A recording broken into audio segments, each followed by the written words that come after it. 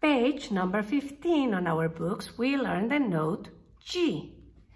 So what I want you to do at home, get your books and put all cows eat grass.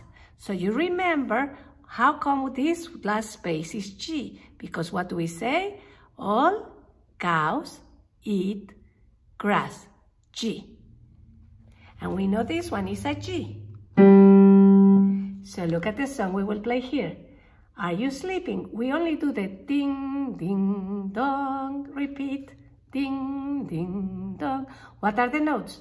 C, G, C, 2. Repeat. C, G, C, 2. So go to your pianos, get your hands ready, and practice this. C,